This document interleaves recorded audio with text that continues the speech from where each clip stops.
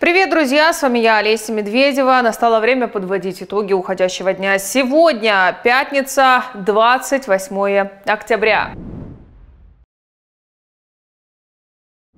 Сегодня украинский генштаб снова сообщает об атаках противника в районе Бахмута и Авдеевки, а также Великой Новоселки. Как пишут украинские войска, эти атаки отбили. Что касается наступления ВСУ на Донбассе, то его Темпы невысоки. Почему так? Три причины назвал губернатор Луганской области Сергей Гайдай. Первое – это отсутствие эффекта неожиданности. Второе – дождливая погода. И третье – это наличие времени для подготовки россиян. Также Гайдай дал понять, что в недавно освобожденных населенных пунктах продолжаются обстрелы и бои. Судя по данным российской стороны, а именно Министерства обороны и военных блогеров, ВСУ стараются приблизиться к Сватово и Кременной, взяв под контроль при этом ключевые транспортные узлы возле этих населенных пунктов на Луганщине. Россияне утверждают, что за населенные пункты, которые позволят ВСУ выйти к трассе Сватово-Кременная, идут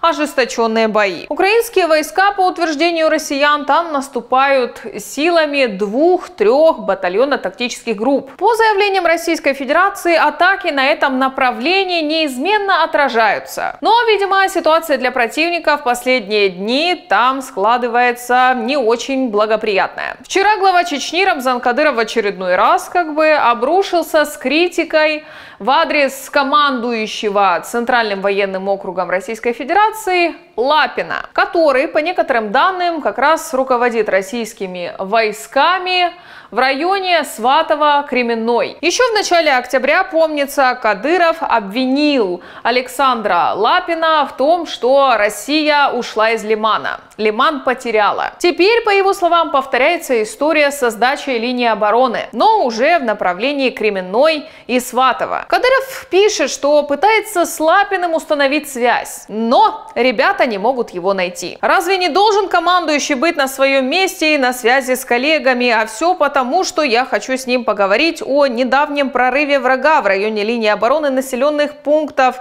Терны, Торская и Ямполовка, которую без боя пересекли 5 БТРов и 50 неонацистов, и где ответственным был Лапин. По его словам, чтобы остановить продвижение ВСУ на ранее указанном участке фронта, пришлось снять с обороны Рубежного один усиленный батальон и одну роту. Кадыров пишет, что переброшенные с рубежного военные около суток не могли найти бойцов Лапина. То есть он, по сути, намекает, что они бежали. Глава Чечни пишет, пришлось самим держать оборону и затем успешно продвигаться вперед. В то же время все эти дни интернет-ресурсы только и рассказывали о великих подвигах ЦВО под руководством Лапина, с которым никто не мог даже элементарно связаться.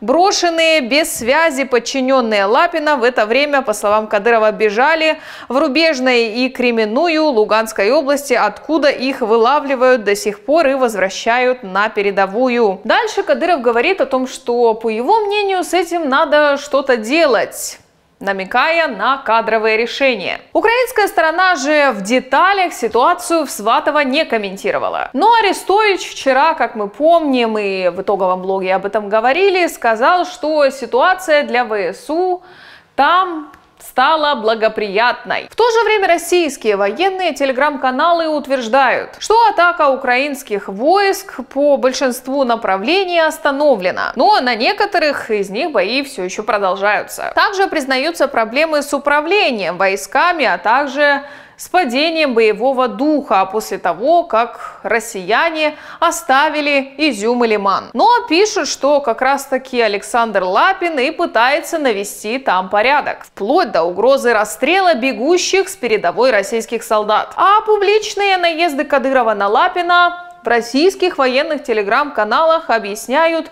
ревностью. Кадыров, мол, ревнует из-за того, что Путин звезду Героя России за взятие Лисичанска вручил Лапину, а не ему. Так или иначе, но именно на северо-западе Луганской области в ближайшие дни будут разворачиваться самые ожесточенные бои. Теперь перейдем к Херсонскому направлению, где сегодня украинский генштаб отметил усиление группировки противника на правом берегу Днепра. Туда, по их информации, вели новую партию мобилизованных до тысячи человек. И их якобы расселяют в домах местных жителей, которые покинули Херсонщину. Сам же Херсон по заявлению назначенных россиянами местных властей готовит к уличным боям. Замглавы администрации Екатерина Губарева заявила, Херсон и подступы к нему укрепляют на случай прорыва украинских войск. Повсеместно идет усиление первых этажей зданий, создаются укрепления из мешков с песком,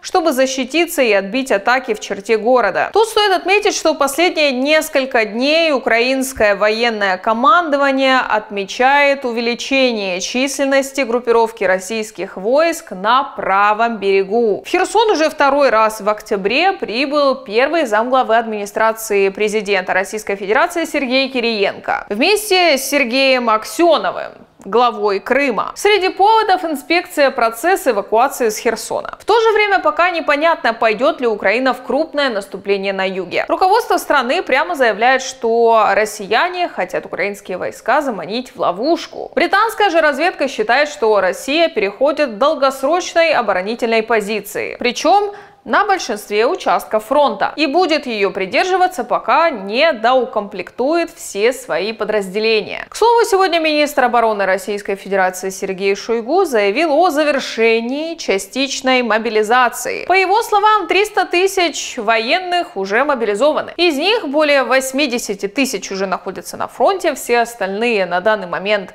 обучаются, а рассылка повесток останавливается. Напомню, ранее оппозиционные российские СМИ сообщали о том, что мобилизовать на самом деле хотят не 300 тысяч, а миллион. Российские же власти, в свою очередь, этих цифр не подтверждали. Также россияне усиливают контроль над тылом на захваченных территориях. В Херсоне сегодня уже анонсировали ужесточение проверок. А вчера в Запорожской области заявили, что будут проверять телефоны жителей на предмет подписки на украинские телеграм-каналы. В воскресенье может появиться еще один способ выявления, ну так сказать, неблагонадежных с точки зрения российских властей. Сегодня стало известно, что захваченные россиянами территории Запорожской области не будут переходить на зимнее время. Назначенный россиянами губернатор Запорожской области Евгений Балицкий заявил, уважаемые жители Запорожской области, в регионе не будет перевода стрелок часов на зимнее время.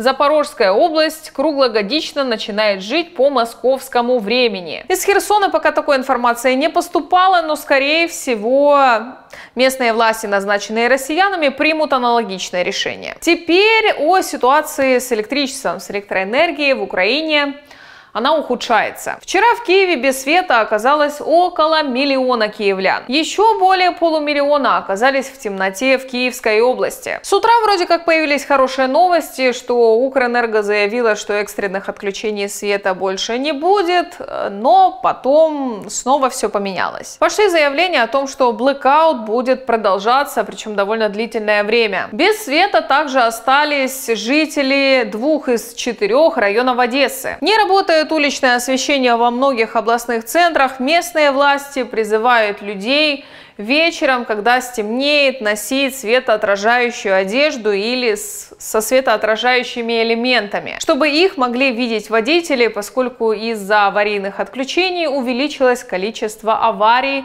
на дорогах в Украине. В России же дали понять, что удары по украинской энергосистеме продолжатся. Дмитрий Медведев сегодня заявил, что удары будут длиться до тех пор, пока Киев не признает правомерность требований России в рамках СВО и ее результаты отражают отраженные в нашей Конституции. В Украине заговорили о том, что Киев получил системы ПВО для отражения российских ракет. Недавно генсек НАТО Йенс Столтенберг сделал по Украине новое заявление. То, что мы наблюдали за последние недели и дни, это на самом деле самая серьезная эскалация с момента вторжения в феврале. Потому что если сложить вместе их мобилизацию и силы, которые они сейчас могут отправить на фронт, с их частичной теперь уже незаконной аннексией части украинской территории и опасной ядерной риторикой, все это является самой большой эскалацией с начала войны. И добавил, что в связи с этим нужно наращивать военную поддержку Киева. Пентагон готовится отправить Киеву новый пакет оружия и другой помощи на сумму 275 миллионов долларов. Цель, как пишет американский Associated Press, поддержать усилия по вытеснению российских войск из ключевых районов на юге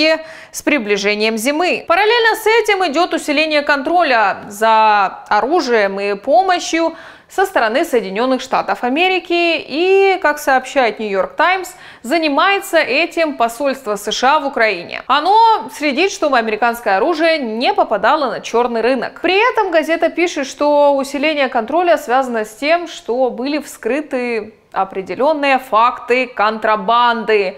Об этом рассказали изданию американские чиновники. Высокопоставленный чиновник администрации Байдена заявил, что Соединенным Штатам известен только один поддающийся проверке пример контрабанды – противотанковый гранатомет шведского производства, который взорвался в багажнике машины примерно в 10 милях от Москвы. По вчерашним высказываниям Владимира Путина на Валдайском форуме мы с вами тоже еще не все обсудили. Он вчера напомнил напомню, еще коснулся темы переговоров с Украиной, заявив, что Российская Федерация так этим самым переговорам готова, но Украина решила их не продолжать. Он также порекомендовал США, чтобы те дали сигнал Киеву решать проблемы мирным путем. При этом Путин интересным образом высказался об Одессе, когда журналист э, спросил в следующем году для визита в Одессу оформлять украинскую визу или российскую. Путин заявил, что город Одесса один из красивейших в мире, может быть и яблоком раздора, и символом разрешения конфликтов. То, что президент России так много и подробно говорил об Одессе, а он там дальше еще продолжил, многие расценили как то, что российские войска, возможно, попытаются снова развить наступление на Николаев и туда дальше на Одессу, вплоть до Приднестровья. Тем не менее, многие вчера отметили, что Владимир Путин явно продвигал переговорную повестку, акцентируя на ней прям ну, особое внимание. С одной стороны, для Российской Федерации это крайне выгодная позиция, так как она позволяет демонстрировать, что Москва вообще за переговоры и за мир.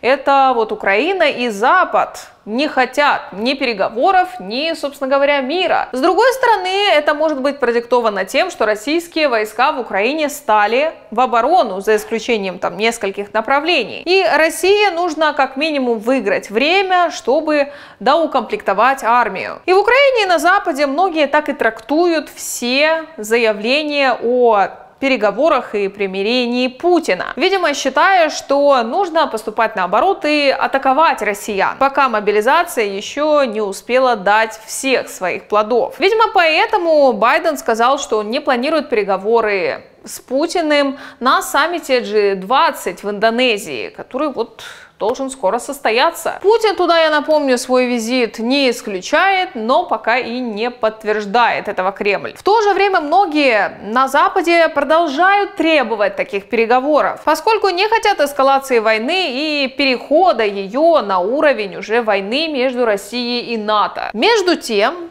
Внезапно довольно в китайском МИДе заявили, что Россия готова возобновить переговоры с Украиной и США. Китай приветствует готовность России вести диалог и возобновить переговоры с Украиной и США, заявил сегодня официальный представитель МИД КНР. По его словам, накануне министр иностранных э, дел Китая поговорил по телефону с главой российского МИДа Сергеем Лавровым. То есть определенные сигналы, звоночки все же есть. Но посмотрим, во что это все выльется. А пока такая информация у меня для вас, друзья мои. На этом все. С вами была я, Олеся Медведева. Совсем скоро мы с вами снова увидимся. Завтра, возможно, не увидимся. Ну, а быть может, увидимся. В общем, не будем загадывать, а лучше подписывайтесь на наши каналы, если еще не подписаны. В Ютубе это «Страна Юи» ясно, понятно, в Телеграме наш канал называется «Политика страны». Подписывайтесь, читайте, там очень много новостей. До встречи. Пока.